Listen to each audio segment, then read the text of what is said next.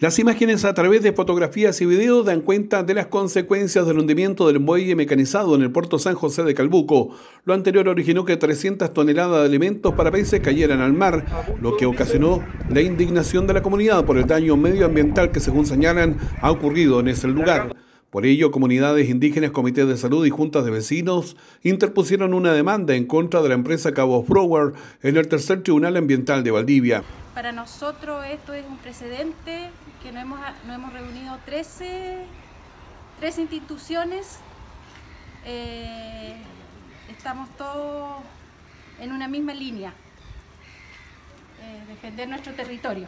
Sí, en verdad como dice Karina, lo más importante para nosotros en este minuto es que se respete nuestro archipiélago, que nos respeten a nosotros como vecinos, que trabajen de acuerdo a la norma. Nosotros no pedimos que dejen de trabajar, simplemente que trabajen de acuerdo a la norma.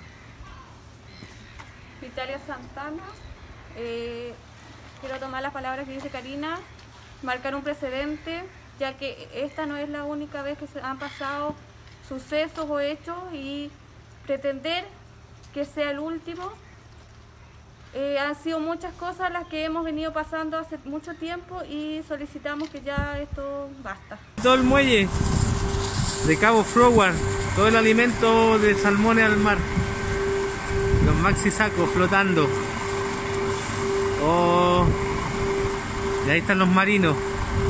En la presentación se rechazan las explicaciones dadas por la empresa, la que señala que el incidente se habría registrado por las malas condiciones climáticas.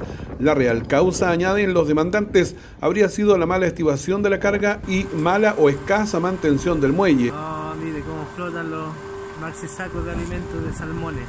En esta acción, entablada por comunidades indígenas, juntas de vecinos y eh, comités de salud, se busca que se estudie hoy día los efectos nocivos que en el ecosistema causa la liberación de estos nutrientes antibióticos y sustancias químicas al mar del canal de Caicaén. También que se declare, obviamente, los efectos que podría tener para la salud de los habitantes del archipiélago. Es la primera acción que vamos a tomar como comunidad unida eh, y vamos a esperar el proceso para ver qué seguimos para adelante.